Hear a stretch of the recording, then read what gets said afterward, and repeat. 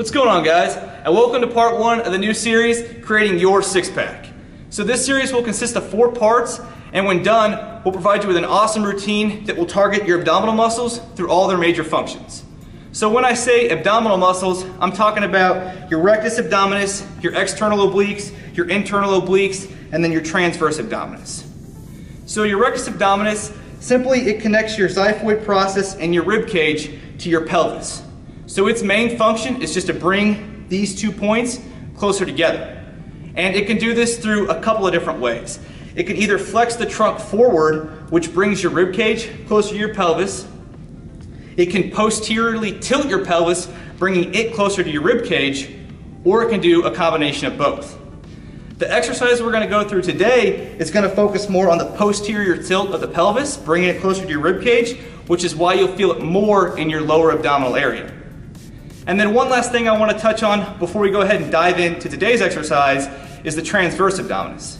So your transverse abdominis is your innermost abdominal muscle. It's underneath, you know, your rectus abdominis, it's underneath your obliques. And its main function is to compress the abdominal wall, pulling it inward, which raises pressure inside your abdomen.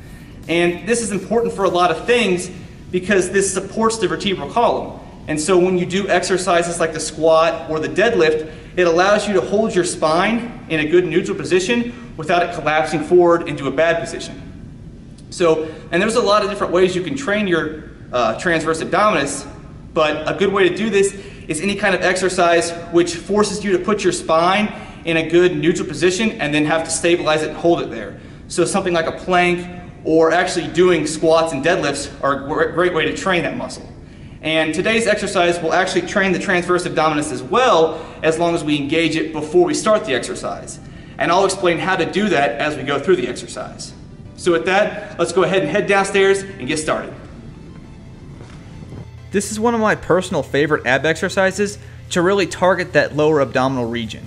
It's called the cable lying hip raise. Start off by attaching cable ankle straps to both your ankles and then attach these straps to the cable. Next, lay down on the floor and just make sure that you're far enough away from the pulley so that there's tension on the cable when your legs are fully extended. Then grab the other pulley track behind you to support your body and keep yourself from moving. Now is when we want to engage that transverse abdominis we talked about. So to do this, just suck in and think about pulling everything inward. A tip that really helps me is to think about pulling my belly button towards my spine. Next, bend your knees and bring your hips to about a 90 degree angle with your torso, and then keeping everything compressed and keeping that transverse abdominis engaged, breathe out and flex your waist to bring your pelvis closer to your rib cage. Make sure you breathe out completely as you do this to really help get that good contraction. At the top of the movement, your spine should be rolled up towards you. That's how you know you're using your abdominal muscles to complete the exercise. Once your abdominal muscles are fully contracted, lower your legs back to the starting position while breathing in. Just make sure to keep everything pulled in and that you keep your transverse abdominis engaged the entire time.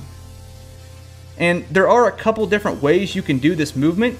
I just really prefer this variation because it does a good job of isolating your abdominal muscles while minimizing the involvement of other muscle groups such as your hip flexors. All right, guys, there you go. If you enjoyed the video, be sure to give it a thumbs up, subscribe to the channel if you haven't already done so, and share it with your friends. I'll see you guys back here next week for part two. All right, guys, thanks for watching, and I'll see you next week.